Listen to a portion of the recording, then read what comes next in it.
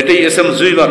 বহু পূর্বে বলে গেছেন আহলাদিস যে রেজিড টুরিস্ট আহলাদিস তারা যা স্বচ্ছ কঠোর বিশুদ্ধতাবাদী। আমাদের পরিচয়, বিদেশি, ইংল্যান্ডের আমেরিকার লোকেরাই পরিচয় দিয়ে গেছে তাদের ইনসাইক্লোপিডিয়াগুলোর মধ্যে। তার পরিষ্কার বলে যে Ahle Hadith would try to go back to the to restore the original simplicity and purity to faith and practices লন্ডনের এই সিআর গ্রিপ তার ইনসাইক্লোপিডিয়া ইসলামের মধ্যে প্রথম খণ্ড দুশো উনষাট পৃষ্ঠা পরিষ্কার বলে গেছে আহলাদিস তারাই ও ট্রাই টু গো ব্যাক তারা পিছন দিকে চলে যেতে চায়। কেন? To restore the original simplicity and purity of faith and practices ইসলামের মৌলিক সরলতা এবং মৌলিক আকিদা ও আমল পুনরুদ্ধার করার জন্য যারা পিছন দিকে ফেরত যেতে চায়, তাদেরকেই বলে আহরুল হাদিস। কে বলছে কথা? আমার বাড়ির পাশে নানা মামু খালিরও খবর রাখে না।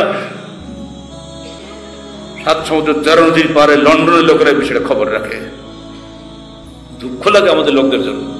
এই স্ক্রেমার বলছেন, আহলাদিসরা কেন পেছন দিয়ে ফেরত যেতে চায়? এই জন্য সারি মজহাবের বন্ধন থেকে বেরিয়ে শুধু হাদিস ও কোরআনের মাধ্যমে যাতে তারা ইস্তেহার করতে পারে স্বাধীনভাবে সেই জন্য তারা সেদিকে ফেরত যেতে চায়। সারি মজাবের নাকে দড়ি দিয়ে তারা থাকতে চায় না। অত সহজ। এই স্ক্রেমার বুঝলো, এসব জুইমার বুঝলো এই আর গীত বুঝলো, আর বাড়ির পাশে আল্লামারা বুঝলেন না। এই সমস্ত আল্লামারা আমার কবরে যাবে? কবরে যাবে কোরআন এবং সৈয়াদিসের বিধান আর আমল। আকিদা সাফ, আমল স্বচ্ছ, জিহাদ চলবে বাতিলের বিরুদ্ধে আপোষহীনভাবে, তবেই জান্নাত আপনার জন্য বরাদ্দ হবে ইনশাআল্লাহ। আল্লাহ পাক আমাদের সবাইকে আহলাদিস আন্দোলনের মূল স্পিরিটটা বোঝার তৌফিক দান করুন।